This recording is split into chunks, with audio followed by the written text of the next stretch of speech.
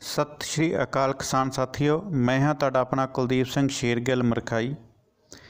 ਅੱਜ ਗੱਲ ਕਰਦੇ ਹਾਂ 25 ਮਈ 2019 ਤੋਂ 30 ਮਈ 2019 ਤੱਕ ਦੇ ਮੌਸਮ ਦੀ। ਦੋਸਤੋ, ਜਿਵੇਂ ਕਿ ਕਿ ਪੱਛਮੀ ਚੱਕਰਵਾਤ ਜਾ ਰਿਹਾ ਹੈ, ਤਾਂ ਇਸ ਦੇ ਨਾਲ ਹੀ ਇੱਕ ਹੋਰ ਸਰਕੂਲੇਸ਼ਨ ਰਾਜਸਥਾਨ ਦੇ ਉੱਪਰ ਬਣੀ ਹੋਈ ਹੈ ਤੇ ਪੱਛਮੀ ਚੱਕਰਵਾਤ ਅਫਗਾਨਿਸਤਾਨ ਵਾਲੇ ਪਾਸਿਓਂ ਹੋਰ ਆ ਰਿਹਾ ਹੈ, ਜਿਹੜਾ ਕਿ 26 ਮਈ 2019 ਨੂੰ ਥੋੜਾ ਬਹੁਤ ਪ੍ਰਭਾਵ ਪਾਵੇਗਾ। ਇੱਕ ਕਮਜ਼ੋਰ ਚੱਕਰਵਾਤ ਹੈ। ਇੱਕਾ ਦੁੱਕਾ ਥਾਵਾਂ ਤੇ ਬਾਰਿਸ਼ ਕਰ ਸਕਦਾ ਹੈ। ਹਲਕੀ ਬਾਰਿਸ਼। ਤਾਂ ਦੋਸਤੋ, ਪੰਜਾਬ ਪੰਜਾਬ ਨਾਲ ਲੱਗਦਾ ਰਾਜਸਥਾਨ, ਹਰਿਆਣਾ, ਚੰਡੀਗੜ੍ਹ, ਇਹਨਾਂ ਸਟੇਟ ਦੇ ਵਿੱਚ ਆਉਣ ਵਾਲੇ ਦਿਨਾਂ ਦਾ ਜਿਹੜਾ ਮੌਸਮ ਹੈਗਾ ਆਮ ਤੌਰ ਤੇ ਖੁਸ਼ਕ ਰਹਿਣ ਦੀ ਸੰਭਾਵਨਾ ਹੈ। ਇਹਨਾਂ ਦਿਨਾਂ ਦੇ ਵਿੱਚ ਜੇਕਰ ਆਪਾਂ ਥੋੜਾ ਲੰਬਾ ਦੇਖੀਏ, ਤਾਂ ਹੋ ਸਕਦਾ ਕਿ ਇਹ ਸਥਿਤੀ ਜਿਹੜਾ ਹੈਗਾ 5-6 ਜੂਨ ਤੱਕ ਇਸੇ ਤਰੀਕੇ ਦੀ ਮੇਨਟੇਨ ਰਵੇ।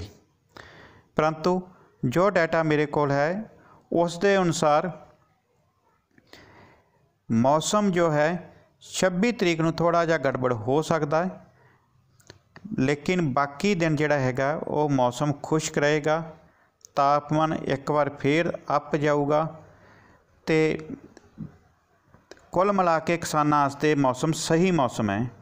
ਜੇਕਰ ਅਸੀਂ ਪਿਛਲੇ ਹਫ਼ਤੇ ਦਾ ਬਾਰਿਸ਼ ਦੇਖੀਏ, ਦੇਖੋ ਪੰਜਾਬ, ਹਰਿਆਣਾ, ਰਾਜਸਥਾਨ ਨੀਲੇ ਦੇ ਵਿੱਚ ਸੀਗਾ, ਜਿੱਥੇ ਕਿ ਐਵਰੇਜ ਨਾਲੋਂ ਜ਼ਿਆਦਾ ਬਾਰਿਸ਼ ਰਿਕਾਰਡ ਕੀਤੀ ਗਈ ਹੈ 16 ਮਈ ਤੋਂ ਲੈ ਕੇ 22 ਮਈ ਤੱਕ। ਜੇਕਰ ਅਸੀਂ 1 ਮਾਰਚ ਤੋਂ ਲੈ ਕੇ 22 ਮਈ ਤੱਕ ਦੇਖੀਏ ਤਾਂ ਰਾਜਸਥਾਨ 'ਚ ਐਕਸੈਸ ਦੇ ਵਿੱਚ ਬਾਰਿਸ਼ ਹੈ, ਜਦੋਂ ਕਿ ਪੰਜਾਬ ਦੇ ਵਿੱਚ ਨਾਰਮਲ ਬਾਰਿਸ਼ ਹੈ। ਹੁਣ ਜੇਕਰ ਇਹ ਟੈਲੀ ਦੇਖੀਏ ਆਪਾਂ 29 ਮਈ ਤੱਕ ਦੀ, ਤਾਂ ਇਸ ਟੈਲੀ ਦੇ ਵਿੱਚ ਪੰਜਾਬ ਦੇ ਵਿੱਚ 26 ਤਰੀਕ ਨੂੰ ਆਈਸੋਲੇਟਡ ਜਗ੍ਹਾ ਤੇ ਬਾਰਿਸ਼ 27 28 29 ਡਰਾਈ 30 ਵੀ ਅੱਗੇ ਡਰਾਈ ਹੈ। ਜੇਕਰ ਤੁਸੀਂ ਹਰਿਆਣਾ ਦੇਖੋਗੇ, ਤਾਂ ਹਰਿਆਣਾ ਵੀ ਜਿਹੜਾ ਹੈਗਾ ਸੇਮ ਪੈਟਰਨ ਦੇ ਉੱਪਰ ਜਿਹੜਾ ਹੈਗਾ, ਇਹ ਚੱਲ ਰਿਹਾ ਹੈ। ਜਿਹਦੇ ਵਿੱਚ ਕਿ ਕੇਬਲ ਜਿਹੜਾ ਹੈਗਾ 25 26 27 28 ਸਾਰਾ ਡਰਾਈ ਰਹਿਣ ਦੀ ਸੰਭਾਵਨਾ ਹੈ। ਜੇਕਰ ਤੁਸੀਂ ਈਸਟ ਐਂਡ ਵੈਸਟ ਰਾਜਸਥਾਨ ਦੇਖੋਗੇ, ਤਾਂ ਇਹ ਵੀ 26 25 26 27 28 29 30 ਨੂੰ ਡਰਾਈ ਰਹਿਣ ਦੀ ਸੰਭਾਵਨਾ ਹੈ। ਜੇਕਰ ਤੁਸੀਂ ਇਸ ਮੈਪ ਦੇ ਵਿੱਚ ਤੁਸੀਂ 1 ਤੋਂ 24 ਮਈ ਤੇ 31 ਮਈ ਤੋਂ 1 24 ਤੋਂ 30 ਮਈ ਤੇ 31 ਮਈ ਤੋਂ 6 ਜੂਨ ਦੇ ਵਿੱਚ ਦੇਖੋਗੇ ਤਾਂ ਪੰਜਾਬ, ਹਰਿਆਣਾ, ਰਾਜਸਥਾਨ ਇੱਥੇ ਕਿਤੇ ਵੀ ਬਾਰਿਸ਼ ਦੀ ਸੰਭਾਵਨਾ ਕੋਈ ਨਜ਼ਰ ਨਹੀਂ ਆ ਰਹੀ ਕਿ ਬਾਰਿਸ਼ ਇੱਥੇ ਨਹੀਂ ਹੋਵੇਗੀ।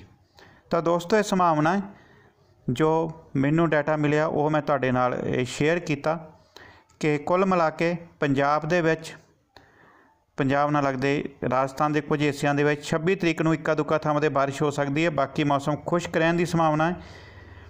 30 ਤਰੀਕ ਤੱਕ ਤੇ ਜੇਕਰ ਆਪਾਂ ਇਹ ਮੈਪ ਦੇਖੀਏ, ਦੇਖੋ ਸਾਰਾ ਇਹ ਇਹ ਕਲੀਅਰ ਹੈ, ਕੋਈ ਦਿੱਕਤ ਨਹੀਂ ਹੈਗੀ।